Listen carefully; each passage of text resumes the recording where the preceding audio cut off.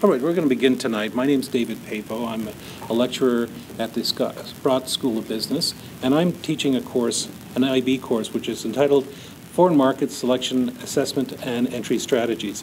I started this, uh, to develop this course approximately three years ago, and I was looking at different uh, markets which are of importance for business, Canadian business students as well as Canadian businesses. And naturally, the BRIC countries were the ones that came to my attention first. But they had been well, let's say, researched and, and uh, flogged to death by countless professors and, and business people. So I was looking for something different, something that would be engaging for the next generation of business leaders. And it so happened in 2014 the same person who coined the, the term BRIC, Jim O'Neill, came out with his next generation of bricks, the Mint countries, Mexico, Indonesia, Nigeria, and Turkey.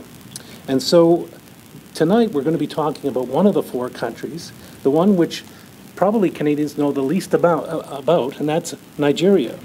And Nigeria is an exciting market because it's an emerging economy which is going to become the economic power of Africa. And tonight, we have a diverse group of subject experts that are going to enlighten us on the challenges and opportunities of doing business in Nigeria.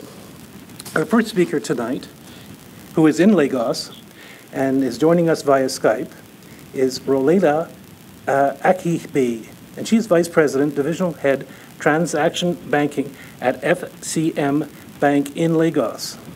She has a career in finance sector which spans more than 15 years. She's worked in, in both global and local financial institutions across Africa and Europe. She has an MBA from the UK. Okay, um, I'm going to start with um, my first slide, which is basically about three things the Nigerian landscape. Because I heard you mention that it's an area perhaps many uh, people in Canada know much about. Then I'll go into the opportunities and the challenges that we. All right, so the Nigerian landscape is this. Most people know Nigeria as being one of the most populous nations in Africa. Right now, we have over 170 million people, and it's still growing.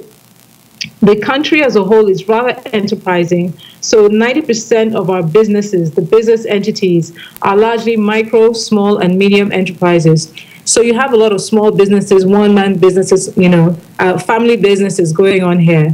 And then the environment is also quite youthful. So about 20%, that's about 30 million people, are between the 18 to 35 age bracket. So it's a young nation. So there's a lot of people, there's a lot of us, and the majority of us are quite quite young. So the working sector is is quite um, uh, quite vivid. So I'm going to jump right into the opportunities, and I'm looking at the next slide, which is talking about the population size.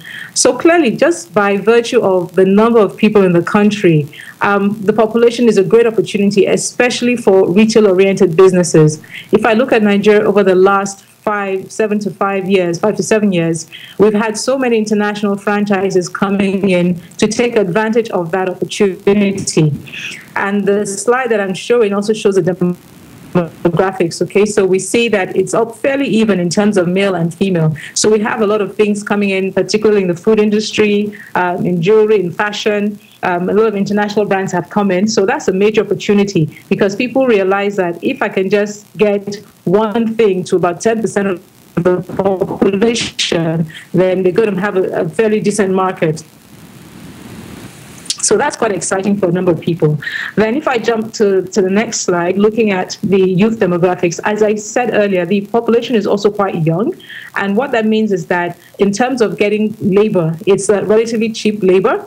And then it's also an interesting thing about, about Nigeria and uh, Lagos, which is the commercial capital, is the fact that the our rate of adoption of technology is really quite quite fast okay and there's a part uh, there's a section in lagos called yaba which is fast becoming you know africa's silicon valley uh, was a survey that was run and found that the highest number of technology developers outside of uh, the US are actually situated in Lagos. So the young demographic is, is actually, they're young, they're vibrant, and they're very tech savvy. So if you look at things like uh, mobile phones, for example, you find very few Nigerian homes that actually still have a landline, but most homes have at least, each individual has at least one or two mobile phones. So you have an 80 million people, about 80 million people using mobile phones in the country. And then obviously the technology that goes with that, the apps that need to be developed for that, you know, so there's a lot of opportunity in that space. And um, people are fast taking advantage of that. I'm going to jump into the next slide, which is looking at the natural resources. Now, as far as nature goes, I think this country has actually been quite blessed. We have a very, very good weather. So obviously we're in the tropics, so it's um, it's either rainy season or dry season. We don't have monsoons, we don't have typhoons, we don't have snow, and the land is actually quite fertile. So the graph, um, there's a graphic that was on my slide. I'm not sure if you can see it clearly, but it just gives a snapshot of a few things that, that grow here. So we have um, agricultural resources, so whether it's cocoa, cotton, the peanuts, the rubber, oil, palm, or the natural resources. Everybody knows that Nigeria is an oil exporting country, so and uh, that's been a major opportunity for us, at least up until the time when you know oil prices started to go south. But outside of oil, we also have other resources: uh, coal, limestone, bauxite. You know, there, there's so many things that that we have, um, but it, it just so happens that because we have focused largely on oil in terms of the exploration and production of oil, a lot of other natural resources have sort of been left uh, fallow and hasn't actually been been marketed and developed as well as it could and should be. And so I'm going to jump right into the challenges now. One of the major challenges is, I would say, is around infrastructure, infrastructural issues, especially around electricity, energy, and transportation. So if we're looking at energy now, with a nation as populous as ours, we are the optimal um, power we should be generating based on some, some task force that was set up a couple of years ago was in the region of 12,800 megawatts. But power generation right now is at just over 4,000. So clearly that's about, we're operating about 30% of demand. So that's a challenge, particularly for enterprises. You find a lot of manufacturers, a lot of companies are running on alternate power. They're um, diesel generated engines are used for to ensure that we have constant power, that's electricity. Um, yes, a lot of companies also go into gas, liquefied gas as a means of powering. Uh, but the average home, you know, is running on electricity. So they, eh, pretty much each home here has you know, on your natural on the natural grid, and then you also have a, a standby generator. Then another challenge is in the area of transportation. So because the transportation isn't very effective in terms of public transport, whether it's interstate or interstate, this poses some challenges, particularly for companies that are involved in logistics and distribution. Uh, because we have had, other than road, air travel obviously is a bit expensive, and then we have a rail system which pretty much um, was left fallow but is now being revived. So those are the major challenges that exist around infrastructure. And obviously, telecommunications, it, it was a bit of a challenge before, but I think we're surmounting that with um, cables being laid. And obviously, we can have discussions like this. I mean, for instance, I'm in Lagos, you're in Canada, and we're Skyping. So a lot of things have improved over the last five to 10 years. I'm going to jump into the next slide, which is talking about policies and regulations. And I would say this would probably be the bane of um, for, for businesses doing business in Nigeria would be policies, because there seem to be frequent changes in policies and regulations, particularly in recent times. I mentioned earlier that we're a major exporter of oil. So since the oil prices uh, went south, the, the central bank in particular has been taking a lot of um, initiatives and putting in place a lot of policies to protect the FX reserves, our foreign exchange reserves. And what that has meant is that today you can access certain things, some tomorrow you can't. Even though we're a major exporter of oil, we're actually quite an import dependent country. I mean, to just to give you a sense, over the last year or so, total imports for Nigeria is in the range of about $30 billion. So when you don't have access to foreign exchange for importation, it's a challenge. The micro um, and the SME businesses that I mentioned earlier, a lot of them deal in trading. So they import items largely from China and other parts of Asia and sell. And obviously, because I mentioned, as I said earlier, power has been a challenge. It has been easier and sometimes even cheaper to import and sell. But now, with the challenge of getting access to foreign exchange, people are having to look to alternate sources and trying to find out other ways of, of doing business. And because the policies haven't been consistent, it's been a challenge for, particularly for small businesses, in trying to survive. I'm going to jump to the next slide now, which is talking about information. Another challenge that uh, that businesses face is basically access to information. So if someone comes into Nigeria now and decides, I want to run a business doing X, Y, Z, how do I get information on what it is I need to have? What sort of documentation do I need to have? What are the startup capital that do I need to have? What you know? What is the lay of the land?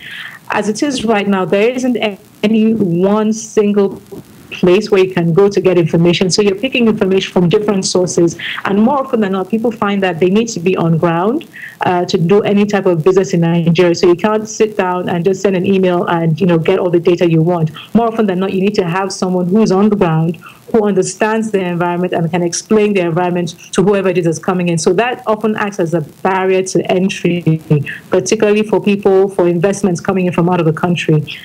So accessing information has been a, has been a challenge both locally and internationally. And then um, jumping to the next slide, another challenge I would say has been in the area of accessing capital. Now, in addition to being an import dependent country, we're also very cash heavy. We do a lot in cash.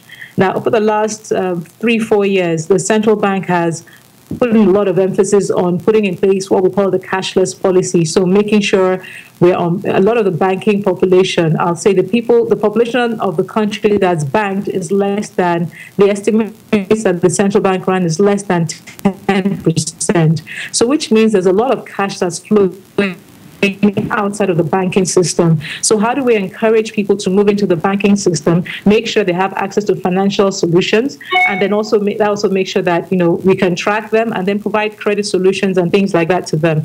So, there's certain things that have been in place, certain policies that have been in place, but in recent times, you know, with the change of government, we have a new president that came in last year. So, some things were sort of slowed down uh, when the new president came in and when the new central bank governor came in last year.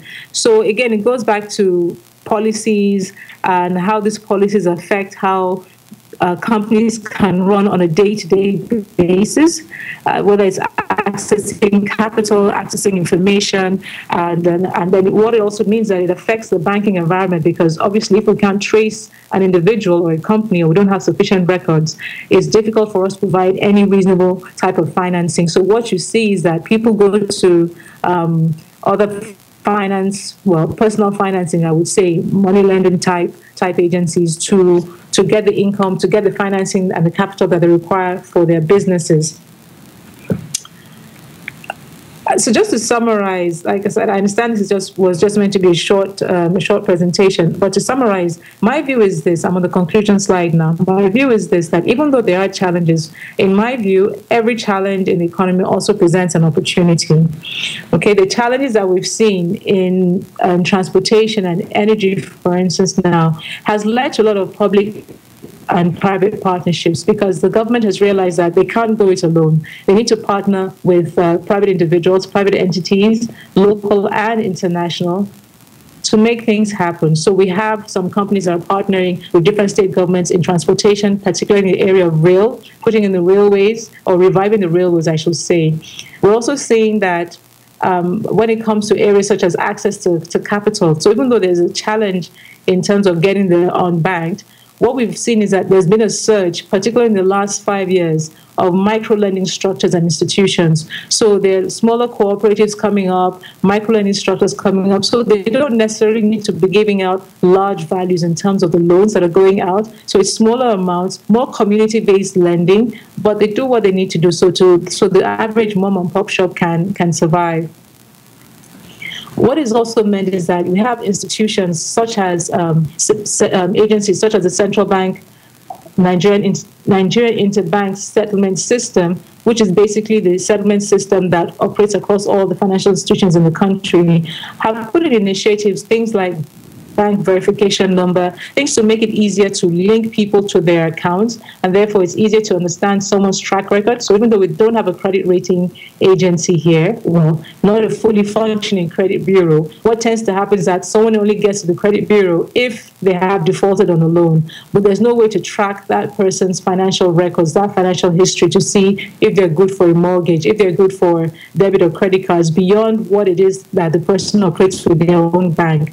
So we're seeing a number of initiatives coming up because we have realized that these are things we need to put in place because of the population that we have and the type of um, industries that we have, which are largely retail. It's important for us to put these things in place so that you know the economy can actually grow and can thrive. Now, also I mentioned earlier that we're having challenges in terms of the policies, in terms of oil prices, because our major product of, of export is, is uh, obviously crude oil. But what that has led to over the last uh, 18 months, I would say, is that a lot of companies are now looking to import substitution because it's been difficult to access foreign exchange. It's been difficult to predict you know, the access to foreign exchange. So companies are now looking to local supplies, local suppliers, which has created a new market, really, a new market for local suppliers to step up their production value, step up their production, and provide these things to agencies and multinationals that probably would not have spoken to them in times past, but now they have to because that's just, you know, they just need to do that to survive because foreign exchange isn't available the way it used to be.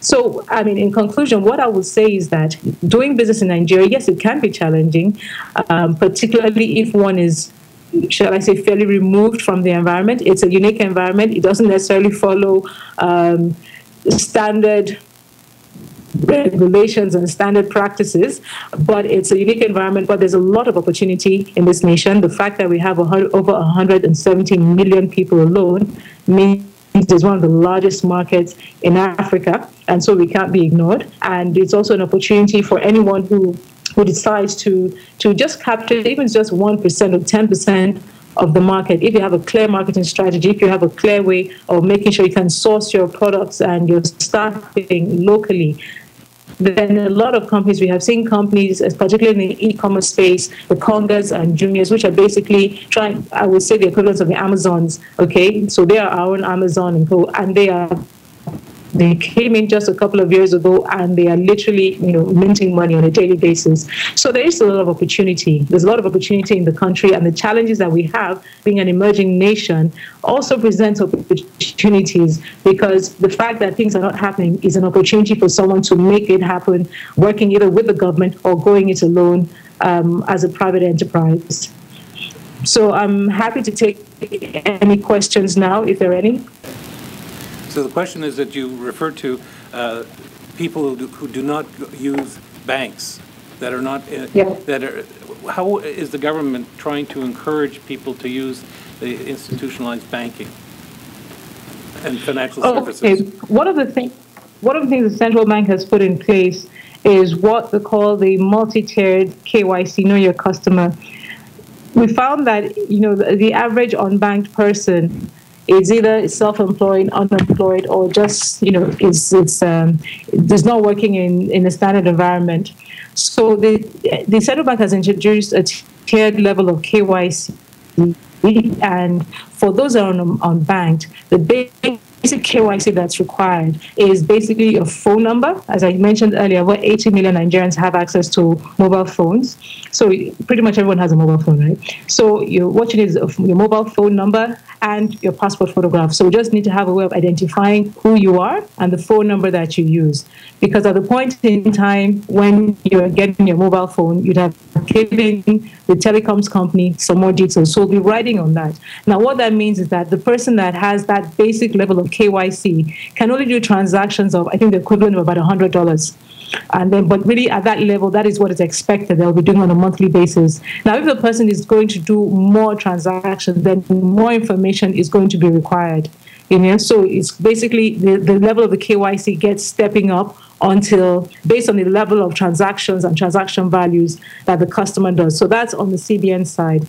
In terms of actually bringing people in into the financial industry or financial sector. One of the things that government is also doing is providing some level of, shall I say, support in terms of funding um, grants for community-based transactions, community-based uh, development development programs. And so it, what it means is that some funds has to get into the hands of what is a local government area. Someone needs to implement that and it's being enforced that things are done within the community. So because it's being done with a particular community, funds need to be, need to be made, made available, and it's been stipulated that those funds will not be made, made available in terms of physical cash. So to enforce that, the person or the community that wants to get involved in that program has to register with the bank and get their banking details on. So they try to tie in community development with financial literacy. I don't know if that answers your question. Okay, thank you. Uh, um, there are no more questions, and I understand it's late in Lagos. Yep. We, on behalf of all the audience here, we thank you for participating with and being part of our, our activity tonight. Thank you. Thank you. Okay, our second speaker tonight is uh, based here in Ottawa. He's a trade commissioner with uh, the Department of Global Affairs Canada, which was formerly known as the Department of Foreign Affairs and International Trade and Development. Uh, his name is Marc-André Savage. Um, he has a Bachelor of Commerce from the Université de Québec en Outaouais. He's also a certified management accountant and has been a trade commissioner for the last five five years or so, six years? Seven years and he was formerly a trade commissioner for Kazakhstan. And he is now currently the trade commissioner for Central Africa and Nigeria. Hi, everyone. Uh, my name is Marc-André Savage. As David said, basically, I'm a trade commissioner working for Global Affairs Canada. Uh, it's my 11 years in the federal service, and today my goal would be to explain more in details what means the uh, trade commissioner services. First, I would like, however, to thank David as well as the Carleton University for organizing such a great initiative. Thank you. Um, before I start explaining what this uh, Trade Commissioner Service is, I would like first to just show you a bit of facts about Nigeria. As the previous uh, speaker already mentioned, uh, the first thing that you notice is the high population. You're talking about uh, almost, uh, well, more than 170 million people. And then what's also noticeable is by 2050, they're actually planning that the population will be possibly the third in the world. It will outpass US. So it will probably be India, then China, and then possibly Nigeria. So from a trade perspective, this is a huge amount of potential consumers and cannot be basically ignored. Uh, the GDP is growing fast, good rate. As David already mentioned, it will be one of the next 11 economy. If you take the G7 and the BRIC countries that are currently leading the growth, in the future, it will be the next 11 that will do this because they will be developing at a higher rate, they will consume more, and so will the economy. And the other thing that's noticeable is one of the language speaking in Nigeria is English, which is quite useful for trade. Okay. Uh, the next thing I would like to mention is basically the trade relationship that we currently have with Nigeria.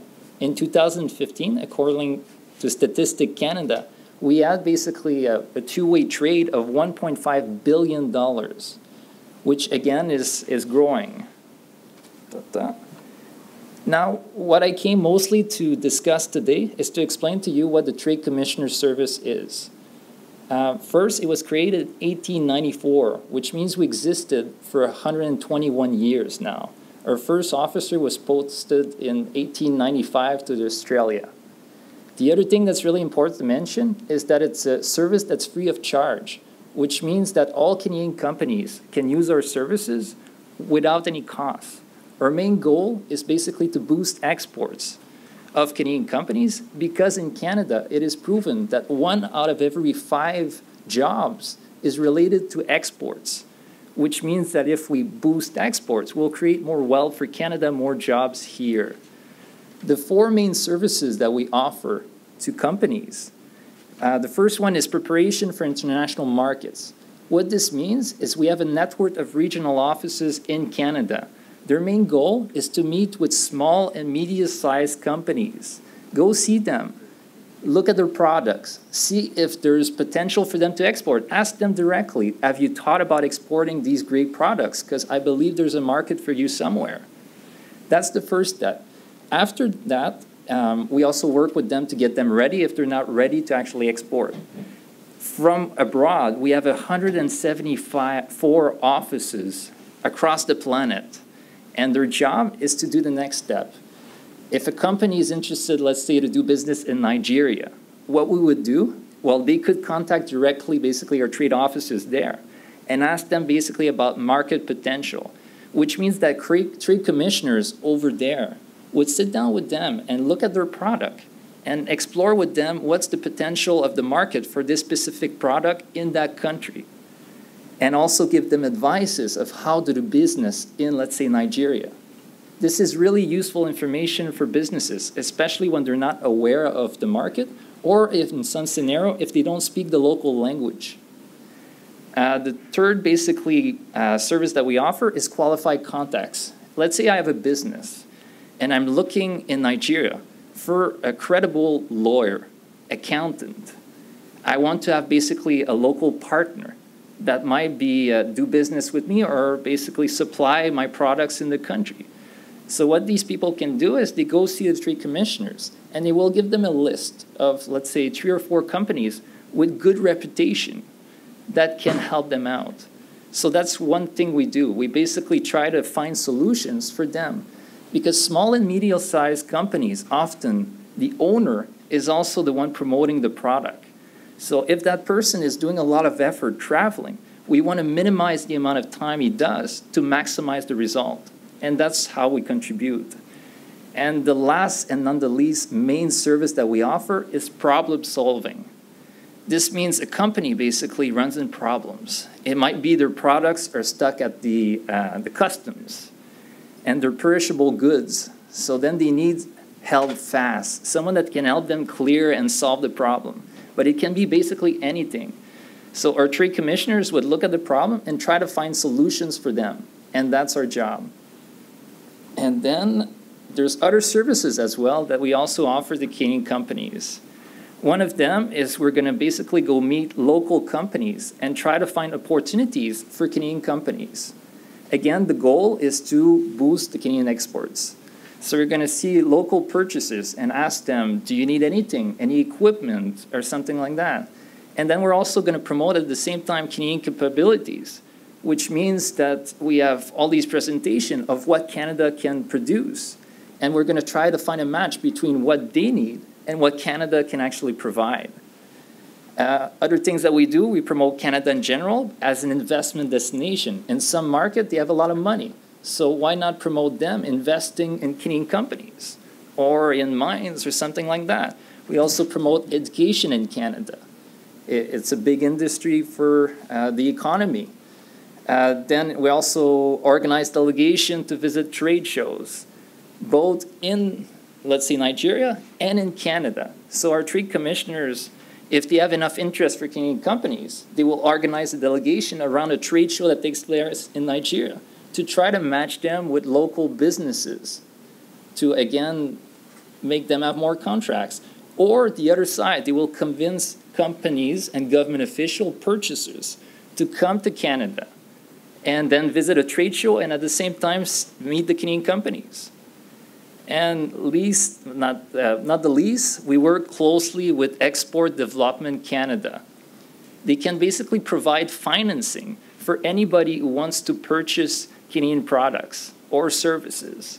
And this is a great edge because in some countries, the borrowing rate at the bank can be 20, 30%. So if EDC, because they make other studies of the risk, can provide financing for, let's say, 10%, it's a great deal for the purchaser, and they might be able to purchase the Canadian good because of this deal. Uh, the last thing I want to mention is for every dollar that the Canadian government spent in the Trade Commissioner's service, historically, there's 23 to 27 dollars that get re-injected in the Canadian economy, creating jobs and wealth. And, and, that's why, regardless of which government is in power, we're always basically a, a focus of the Minister of Trade. Uh, afterwards, I would like to just basically, if you're interested to do business in Nigeria, we also have a local presence. Uh, we have four trade commissioner locally placed. There's one that is in the capital Abuja, and there's three in basically the business center, which is Lagos. Lagos by itself is the fifth economy of sub-Saharan Africa. And uh, the Canadian companies are actually growing their presence since the last four years, so the, they're making good business there. Uh, however, everything is not pink. Uh, there are several problems that Canadian companies are facing in Nigeria. One of them is the high inflation, uh, the lack of qualified technical workers for when you want to go in new industries.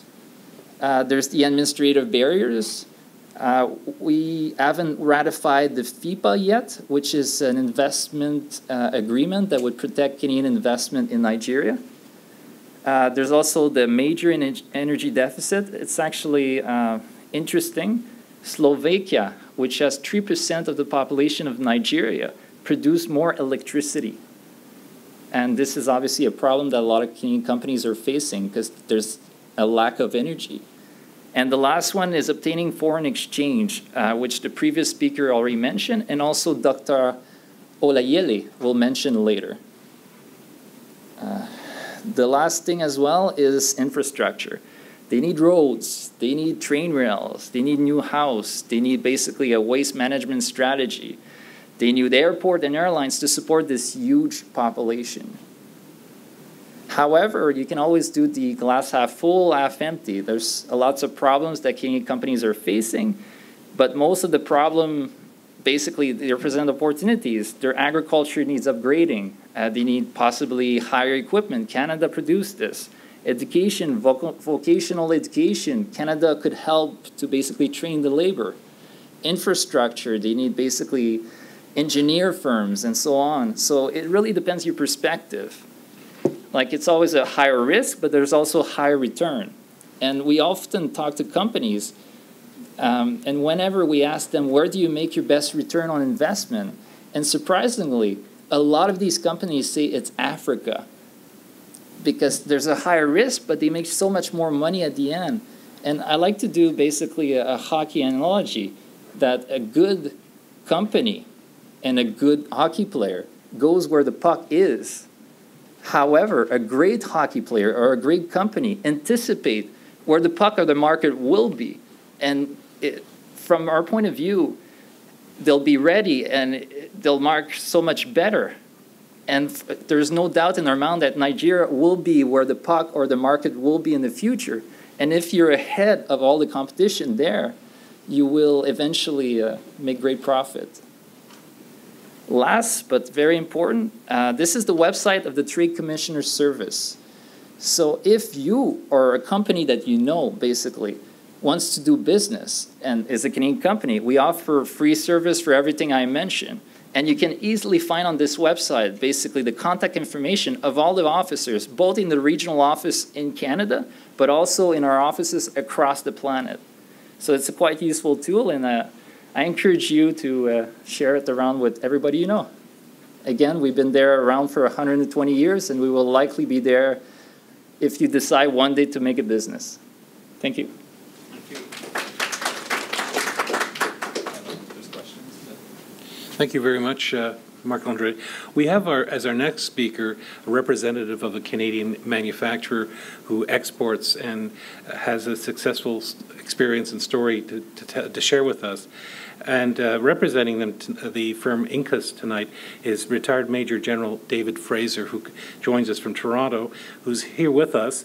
And uh, Major uh, General Fraser has an he's with formerly with uh, National Defense, where he was um, he commanded our Canadian and international soldiers in Afghanistan, Bosnia, Cyprus, and he has extensive staff and planning skills with the Canadian Forces, United States, NATO, and other government departments. And uh, he has a a degree in psychology, political science. He's a master's degree in defense management and policy, as well as numerous accreditations from the Ivey Business School and the Canadian Forces College and the National Defense University.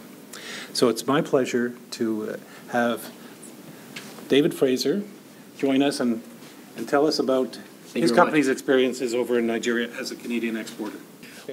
Thank you very much for having me here tonight. Um, it is a, indeed a pleasure to be with you. And now we're going to go from about 40,000 feet, we're going to go up to about three feet. Okay, because I'm actually uh, running a company and a group of company that actually is doing business in uh, Nigeria. Now, this is daunting because I actually graduated from this college, or this university, a very long time ago. My son graduated from this uh, university, and if that wasn't daunting enough, because I know this building in many different shapes or forms, um, my professor is here from my master's program, and she's sitting right there, and she knows more about me than I want any of you to know. Okay? So uh, this is actually great to be with you here tonight. Um, I'm going to show you two videos. The first video is just to give you an overview of what INKAS Manufacturing is. We've been around since 1993. We're a group of companies. We're a privately owned, family-run business. It started off with cash in transit. We're now uh, building armored vehicles. I've got a bunch of books over there for you to pick up if you want. We do a whole bunch of other things, including IT, uh, environmental remediation, and the theme of what you're going to see is security. Security of the person, security of your information, security of the environment. So that's, we're a great Canadian company that is global. So that's the first thing, and I'll let the video do the talking. And the second one is, um, and I'll, I'll do a bit of an introduction in between, is actually from our chairman of INKASTRANS in Lagos, uh, Nigeria, Bill, uh, who will be giving you a talk that was uh, recorded two days ago for you, uh, talking about the INKAS story in Nigeria. And I'll hold off uh, there uh, to do that introduction. But first, let me just give you a little bit of a teaser about what we are. At its 20 year anniversary celebration, INKAS held a ribbon cutting ceremony marking the grand opening of its new facility in Toronto. Industry leaders, government officials, representatives from Ontario financial institutions and municipalities joined INKAS to commemorate the event.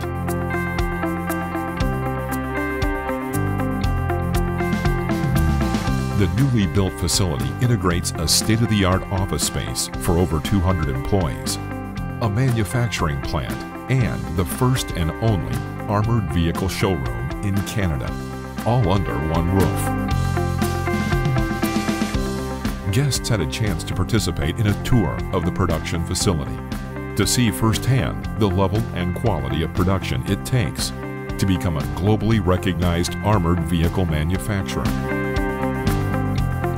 From special purpose vehicles and luxury armored limousines to bulletproof SUVs and discreet sedans, INKAS designs and produces its entire vehicle line in-house.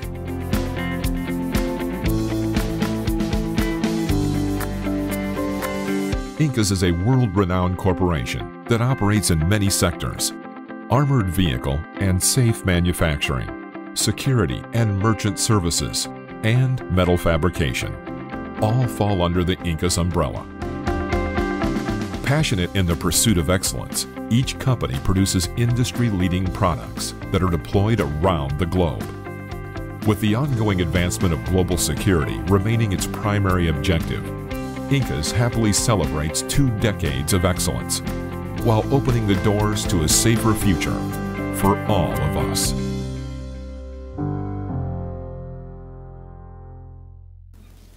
We're 20 years old, and in fact, uh, so what we've done, uh, cash in transit. Uh, we're the third largest cash in transit in Canada behind Brinks and Garda. Uh, we did that in 93, 96. We started building vehicles, and, and I'll let the vehicles uh, we build up armored sedans, SUVs, and uh, special purpose vehicles for uh, parts of the region of the world where there, in fact, you need armored vehicles. 93% of our vehicles go overseas. Main markets are South America, Africa, Eastern Europe, Southwest Asia, and the Middle East. For the next 10 years, the biggest markets are going to be, in fact, are going to be in uh, South America, Eastern Europe, Africa. Uh, Nigeria has been a de conscious decision of us to go and, and uh, address the security issues in Africa. What we have done there is we've been there for eight years now. We picked Nigeria because of its size, its location, its economy, and it is also the biggest economy down there. It's also our regional hub. The one thing about INKAS I want to emphasize here is we just don't sell you a product, we sell you a system of systems, and we also are all about capacity building. So instead of just building a car, what we do is we start off with a sales rep that goes to a country and sells you a car, and then we open up a sales office. Then we open up a showroom. Then we open up a, a maintenance facility, and, and later on this year, we'll actually be opening up an assembly plant in Nigeria to service the region uh, that uh, needs our products. And again, they're defensive in nature. Uh, nothing that we do is offensive. Everything that we do is designed to protect people and protect the environment. So the one other thing that's kind of an anomaly, and Bill will talk about it, we have an environmental remediation company, and that's called INKAS Environmental, INKASTRANS, and we work with companies like Shell, where we have a big project right now in Nigeria, and that project is to remediate all the efforts that have happened from oil uh, processing. We're actually cleaning up that oil and actually putting the environment back to the way it was. And so again, that's creating jobs, that's creating IP. It's a, it's a Canadian uh, uh, patented product, but we're exporting all that into Nigeria and we're working with other uh, companies to actually develop that. So that's what we're doing. And we also, in addition to doing armored vehicles, uh, one thing you have to learn in your in your business world is diversification. It's a good news, bad news story. Good news is we're doing really well in Nigeria. The bad news is the bank says you're doing too well in Nigeria. What are you going to do? So we've diversified into the regions. We've diversified now that we're starting to produce limousines, soft skin limousines, the ones that you will do, use when you graduate, and so you're not drinking and driving. And we also do things like uh, hearses and whatnot for the Canadian and uh, North American market. So again, that's a diversification based on our experience uh, from armored vehicle manufacturing. Medium-sized enterprise of about 270 Canadians.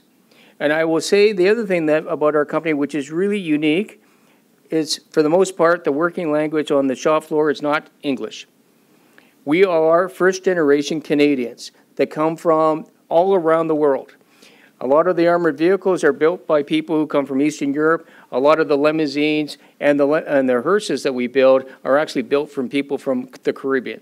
So we actually have imported uh, people from around the world. We had an, uh, a manufacturing facility in Dubai, but we reshored it back here into Canada because of one thing, you, people. We did it because the best people are here in this country, the supply uh, system is here in this country, and we're now exporting all of that to Nigeria, that idea, so we can do the same thing in uh, Africa on a regional basis. So let me just go and introduce to you Bill. Yeah, good afternoon, ladies and gentlemen. My name is Bill Nkemdirim. I am the African partner for INKAS Canada, and I also sit on the board of INKAS Canada. I want to take this opportunity to give you the experience of INKAS Canada in the past eight years. I came into Canada in the year 2000, and in the year 2008, I met my friend Mr. David Kazansky, and I presented to him the opportunities Nigeria has. Like every other Canadian and business, he was not excited and it was not something he would really want to touch. But eventually, we started trading. I started buying a few luxury armored vehicles Actually, I started with the cash and transit vehicles into Nigeria. Then he saw the need, after pressurizing him, to come with me to Nigeria. And I want to say Nigeria is in West Africa. And it has a population of about 180 million people in a land area of about 900,000 square kilometers. The land is highly fertile for agriculture, and all over Nigeria are various solid minerals. And Nigeria is rich in oil and gas. We have a working population between the ages of 25 and 60 of over 60 million people, and they're highly trainable. But the issue is Nigeria has been badly reported in the Western media, and these negative reports, what I would choose to call propaganda, but not that we don't have problems, that has scared Canada totally away. Nigeria, like every other nation, particularly developing nations, have their fair share of challenges. Nigeria has a huge infrastructure deficit. We don't have electricity, power is short. We have a lot of, uh, we don't have good access routes. We have challenges in education, we have challenges in healthcare. We have all these challenges. We have our fair share of insecurity in the Niger Delta, in the north, and all over. We do have our fair share of corruption. But these, to me, present a huge opportunity. And that was why in 2008, I told David, let's get into Nigeria because the security challenges are, for us, a huge opportunity in Canada. When we started bringing in the vehicles, shortly, and thanks to INKAS, because INKAS is a company that is highly improving. The research and development in Canada has made INKAS Canada today to be one of the best companies in the world producing premium vehicles, which suits the Nigerian market. And today, INKAS is doing, with our presence in Lagos, Nigeria, we are doing over 400 vehicles in a year. We are selling cash in transit to the financial institutions. We are selling armored personnel carriers to the Nigerian security, the police, the military, to the customs. We are selling luxury vehicles to high net worth people and most of the politically exposed people. And today, Incas is a household name in Nigeria when it comes to premium quality armored vehicles. If we did not take the advantage of the security challenges in Nigeria, Inca's story wouldn't be this today. Because in the past eight years, Incas has grown. But I want to say that Nigeria presented a good platform to penetrate Africa. We are selling in Ghana, we are selling in Cote d'Ivoire, we are selling in Angola and virtually everywhere in Africa. But that is not all Nigeria has. Our agriculture produces variety of products that are begging for processing into semi and other finished products. We produce a lot that are not processed, which Canada can do. In the oil and gas, there is a lot of opportunity. And we chose three years back to look at what is happening in oil and gas in Nigeria. There is a lot of environmental challenges. Oil spillage, oil, uh, water body contamination, the soil contamination and all. We chose as INKAS Canada to come into the environment business in Nigeria. Today, we are working with Shell and some other IOCs to attempt to clean up the Niger Delta, to engage in oil spillage cleanup and bioremediation. And it is a good story. And INKAS is doing well. Today, INKAS Canada and I we are proud to say we are engaging in the mining activities in Nigeria and we have acquired some acreages for mining. These are all opportunities Nigeria presents. But many Canadian businesses have chosen to listen to the media in the West. The Americans are still here, Europeans are still here. The Canadians are not coming in, but they are waiting. The Chinese, in the past 10 years, are investing over 2 to 3 billion dollars in Nigeria. South Koreans are doing the same, Indians are doing the same, so why not Canada? I want to let you know that Nigeria is a politically stable country that practices presidential democracy. We have a bicameral legislation. Legislation have, uh, has been enacting laws that are favorable to businesses. We have a very independent judicial system. Our judiciary is one of the very best I can say in any part of the world today. Our judiciary is a very independent and transparent system. We have laws that protect businesses. The Nigerian Investment Promotion Council has even what they call the OSIC, the one-stop shop that makes registration of businesses easy. Expert, expatriate quotas very easy.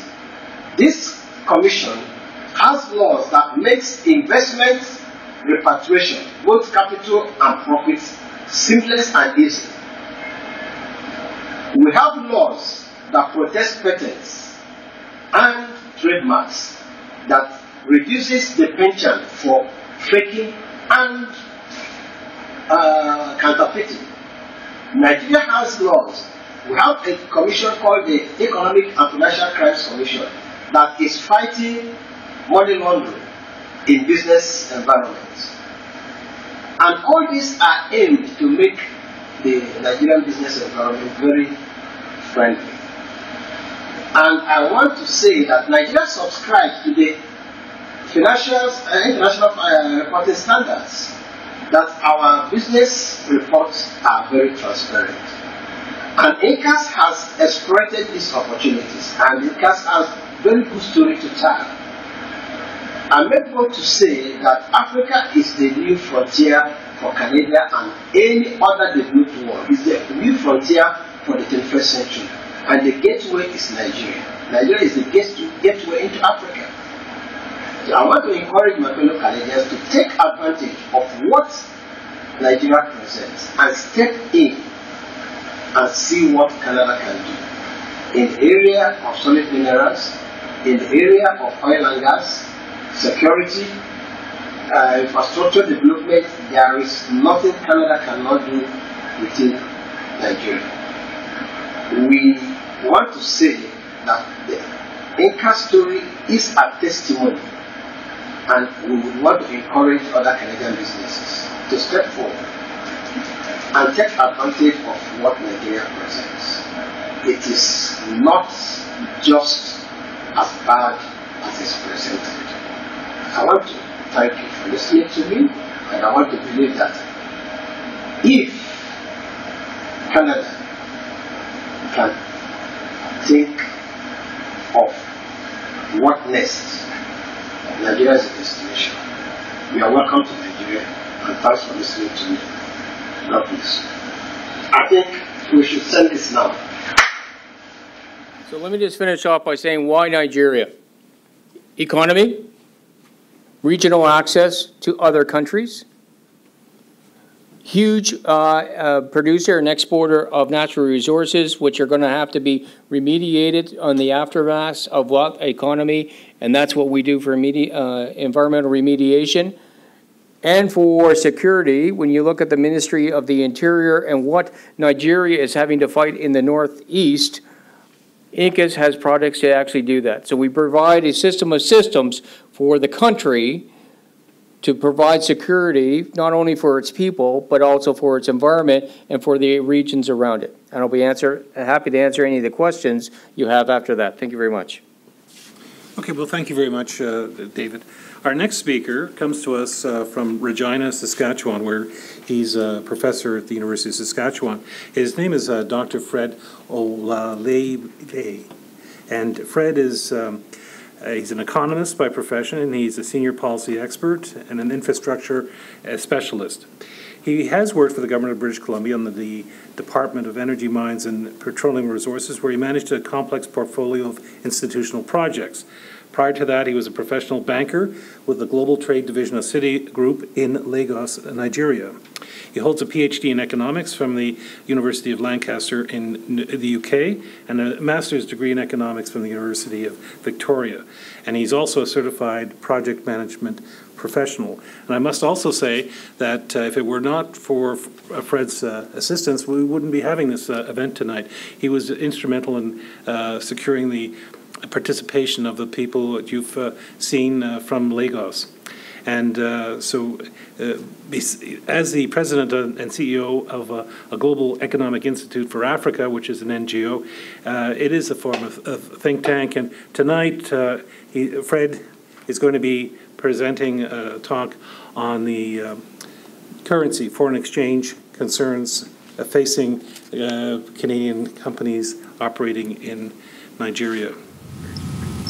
Okay, so good uh, good evening, uh, ladies and gentlemen. Uh, thanks for uh, the opportunity here. Um, like the, the cover slide says, I'm going to be talking about the current uh, currency crisis in Nigeria uh, and implications for, for foreign investment. Yeah, so pretty much about four major issues, you know, will be analyze her in detail. And we'll look at uh, currency crisis, you know, within the context of uh, what is happening in Nigeria. We'll look at some of the economic and, and political issues, you know, that surround the current uh, environment in Nigeria. I'll look at uh, a popular model in economics, you know, which helps to analyze some of the issues. And like you are aware, the the managing director of the International Monetary Fund, recently visited Nigeria. You know, we'll quickly look at uh, her stance. Uh, the implications for, for foreign investment will be analyzed, as well as the way forward. Next. Uh, so to begin with, uh, a very good question to actually ask is uh, if Nigeria is in reality, you know, facing a currency crisis it, it, uh, it's very hard really to, to define a currency crisis.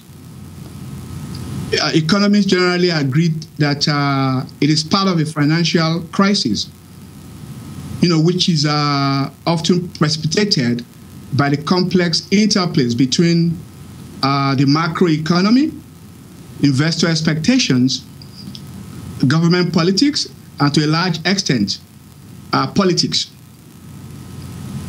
So for countries uh, under a fixed exchange regime, it becomes even more frightening when you when you consider that the central bank doesn't have uh, FX, you know, foreign exchange, to maintain the country's uh, fixed exchange regime. So that often results in speculative attacks on, on the uh, foreign exchange market. So Nigeria really is facing a major a currency crisis, which is caused by the drop in oil prices. Like we all know, Nigeria is a monocultural economy, uh, and its inability to diversify uh, the revenue base of the economy presents a major uh, challenge. Again, back to back to economics. Really, you know, uh, one of the major issues that we are talking about here is, is about uh, trade imbalances, uh, specifically balance of payment deficit which is caused by the heavy reliance on imports. For, for so many years, you know, the country has relied on petrodollars. That is foreign exchange from uh, the sale of oil. So Nigeria has relied on petrodollars to, to fund its uh, import cravings. And the uncertainties in trade and exchange rate policies continue to exert pressures, you know, on the macroeconomies. And household incomes suffer uh, substantially. Next. So, uh, current realities. I, I, think at this point we should really uh, face it. Nigeria is the biggest country, it's the largest economy in Africa. and the most populous nation. But in the realm of economics, it's a small open economy, you know. It can, Nigeria can hardly influence uh, the direction of uh, economic uh, realities in the world. It's a price taker, you know, you produce uh, natural resources and primary commodities. So to a large extent, it's going to have to come to terms with that reality that is a price taker. Again, the uh, sharp drops in uh, global prices, you know, continue to uh, decimate uh, government revenues from what it was about two years ago, you know, to less than forty dollars. This is even uh, aggravated by other external shocks. You know, look at other commodities like gold, like um, uh, diamond, or what have you. The prices are going down, and so it's a precarious um, uh, situation, if you will. And in terms of uh, the economic policy uh, direction for the Nigerian government, it's recently, you know, announced uh, a ban on unnecessary consumer items that the government feels is not necessary. Added to that is trying to promote local manufacturing. And its a medium to longer term economic policy agenda is to really diversify the economy away from oil and to look at um, agriculture and, and, solid minerals. So that's big on uh, the economic policy agenda. But how much time they have to implement that and to see results, uh, that remains to be seen. And then let me quickly talk about uh, politics. You really cannot uh, you cannot uh, underestimate the influence of politics in all of this. The government is elected for a four-year term. Uh, it's it spent one year already, so they are really under uh, they are under pressure, if you like, to perform in the next one year. By the time it's midterm, then the electorates, the people are going to be asking questions. And that to a large extent, you know, further uh, complicates the issues because it's it's unlikely that they're going to want to take some risks that may not produce uh, uh, quick results. So tough choices ahead. In terms of the issues, the the central bank, like uh, you all know, devalued the naira by about 8% in, in 2014 November and fixed the official exchange rate at $198 to a naira to the dollar. This has created a huge gap, you know, between the official and uh, uh, parallel uh, exchange rates. Uh, and again, it also restricted access to foreign exchange. And over 40 our consumer items now are, are, being banned, you know, in order to uh, uh, uh, maintain its uh, foreign reserves and what have you. So in the local economy, a lot of a lot of uh, adverse effects, you know, are the results of all of this. You see rent-seeking behavior on the rise now.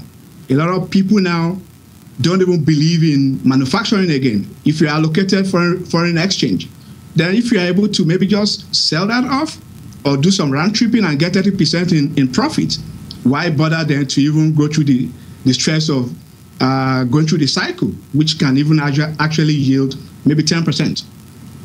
And for, for local manufacturers, the uncertainties continue to let them lay off and do a whole lot of stuff, you know, to improve their bottom line. So uh, a, a, a, current theme in Nigeria now is the whole idea of people trying to persuade uh, Nigerian citizens and even other stakeholders to buy local goods and what have you, you know, like a moral assuasion kind of thing, you know. But to what extent that works, you know, again remains to be seen. Uh, well, I'm going to be very brief here. I know I don't have a lot of time. So this framework, uh, the impossible trinity, is a foremost uh, model in international uh, economics, you know, which of course explain why policymakers' hands are often tied up. You don't have a lot of choices, especially if uh, a fixed exchange rate regime is on the table. So, but the one thing that I would really like to add here is that from January 2014 till date, the Central Bank of Nigeria had its foreign exchange reserves, you know, dropped from what it was to about 28 billion. It has fallen by over 33%. That's, that's, that's profound.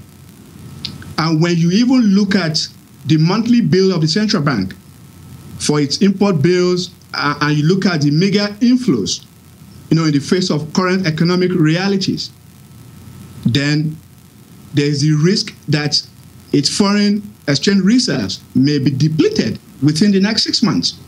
Uh, so let's let's talk about uh, the president. You know, like I said recently, the the managing director of the IMF visited Nigeria, and uh, one of the uh, pieces of economic policy advice given was for government to consider devaluing the naira. That's the local uh, currency. But the president I know is a student of history. In, in the 1980s, you know, the structural adjustment program decimated Nigeria. It produced hardship of unprecedented proportions, led to swollen external debt, huge fiscal gap, you know. The middle class was literally decimated. Decimated. University professors could not pay their bills. Hardworking middle class families could not put food on the table as a result of uh, high exchange rate, interest rates, and other you know macroeconomic uh, shocks that really wiped out the, the, the middle class. Everybody was scampering, you know, to cope. A lot of families had to take three, four jobs just to pay the bills. And that was even uh, the genesis of the brain drain syndrome in Nigeria. Before that whole episode of SAP, Nigerians who went overseas to go to school would always, 90% of the time, they would go back to Nigeria to help the system. But aftermath of SAP, Nigerians who went overseas to study, you know, a lot of them stayed back. And even those who had studied abroad and went back home started to flee. So my question here then is, do you blame the president for not devaluing the naira? I don't blame him, you know, for one simple reason. Every politician, you know, will be very careful to learn from history and to not filter away uh, the goodwill that they enjoy from, from the people. You may call that politics, yes, but I also call it common sense, you know.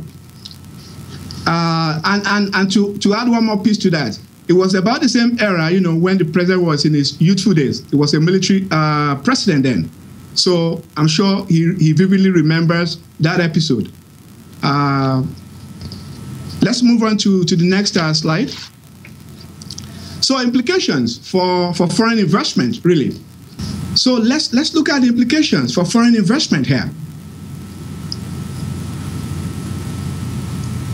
Before uh, March 2015, when we had the last elections, you know, Nigeria was a prime destination for foreign investors in the whole world. I mean, it was a very hot market. Everybody wanted Nigeria. But with uh, the current realities and the currency crisis, investor appetite, of course, remains uh, weak. A lot of foreign investors are cautious, you know, they are watching the trend. And for even some of them who have uh, assets that are denominated in Naira, they've chosen to, you know, take some of their capital away. Uh, but the good news is some still sit on the fence. They are watching. They are analyzing the trends, looking at the news, and uh, just looking to see some uh, stability in, in, economic policy. Perhaps that can be enough to, you know, convince them to to invest and, and, and do other things. And I should quickly mention FIPA here. FIPA, the Foreign Investment Protection Agreement which Nigeria, which the Nigerian government executed with the government of uh, Canada uh, about two years ago. That agreement is executed already, only for uh, a few items, you know, to be to be finalized. Had had FIPA been finally executed, you know, I'm sure a lot of uh, the Canadian investors who are in Nigeria would know that there's nothing that can, you know, affect them from repatriating their profits and what have you. So this whole episode again emphasizes the need to clean up the table and finalize everything that has to do with FIPA. That is a one that, that is a, a, a tool that can really uh, give them the comfort level that, that, that they do you know uh, deserve. And the devaluation of the naira may also grossly affect the economic size of Nigeria. Like you know, two years ago, the economy was rebased, and Nigeria overnight became the largest economy in Africa. So if government would bow to pressure and devalue the naira, that means an economy that is presently over 500 billion dollars could overnight shrink to 300 billion. You know, no, no, no, no, no politician or leader, what is all, we want to see that happen. And finally, under this slide, uh, you talk about foreign portfolio investment. Uh, the, the, the, market capitalization for, for the stock market in Nigeria continues to go down. You know, a lot of people who have stocks and other securities, you know, are, are not so um, are comfortable with what is happening, and that has affected that. Uh, the current scenario may also delay re-entry. They are watching to see what, what's going to happen. Uh, it is hoped that if there is a likely rebound in oil prices, that may again help to um, address the situations.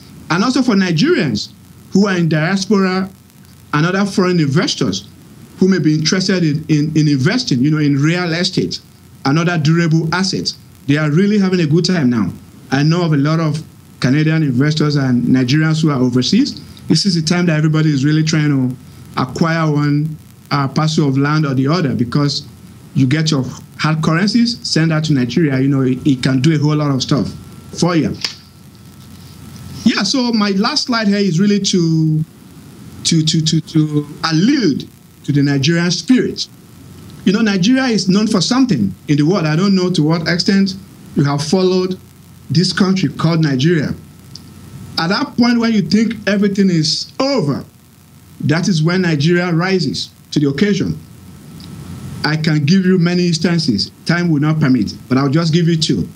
1996 Olympic soccer.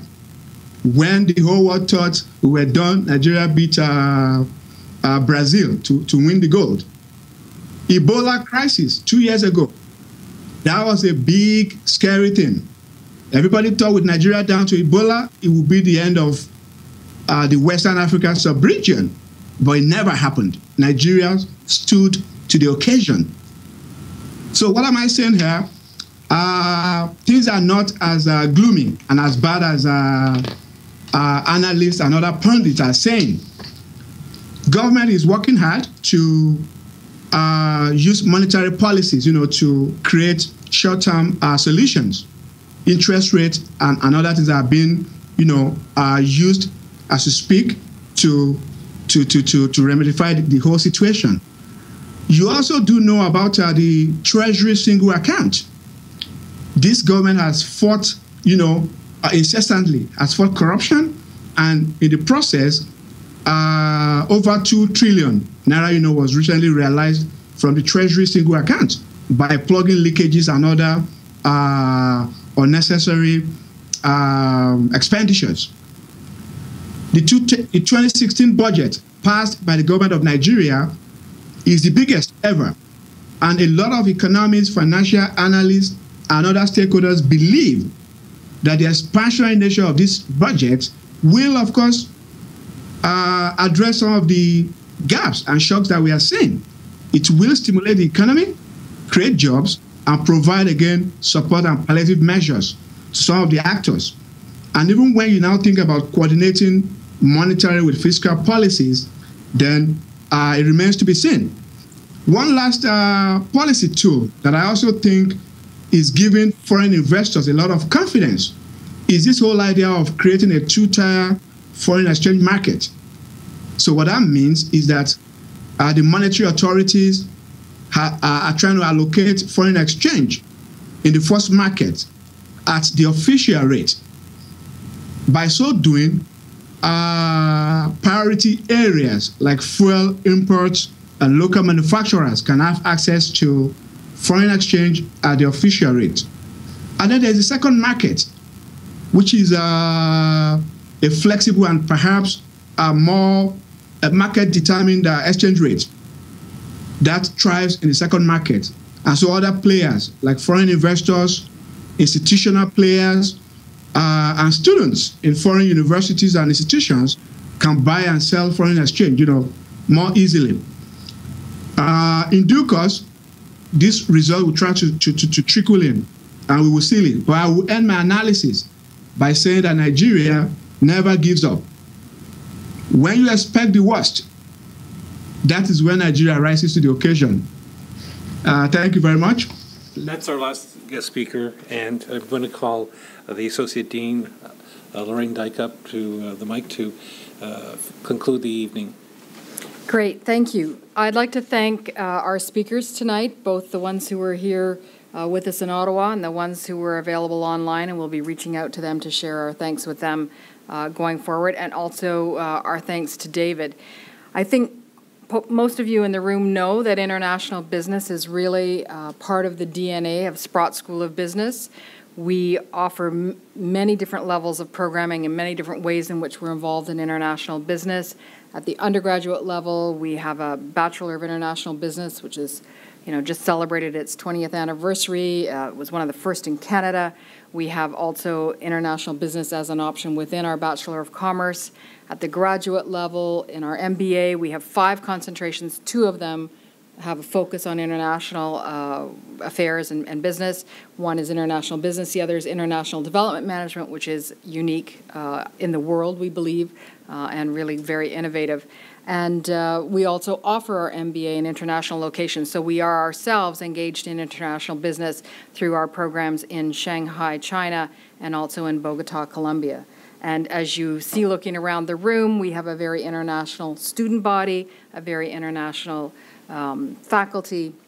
And on top of the work that we do directly in the school, we have exchange agreements with uh, 100, about 130 exchange agreements in over 30 countries. So international business is really fundamental to what we do here in Sprott School of Business, and so we're so appreciative of David for organizing tonight's event and our speakers uh, for joining us and sharing with us their experiences and their ideas about how we can do better international business and do business specifically uh, with Nigeria. So I have a little token of our appreciation for our speakers.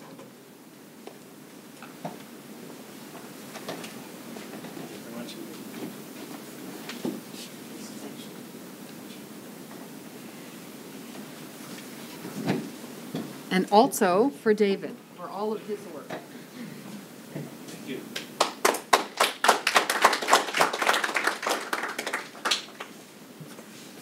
So I assume now you're going to let the students take a short break before resuming class and trying to make sense of all of the interesting things that you have learned tonight. I know I've learned a lot. I'm sure you have as well. So thank you.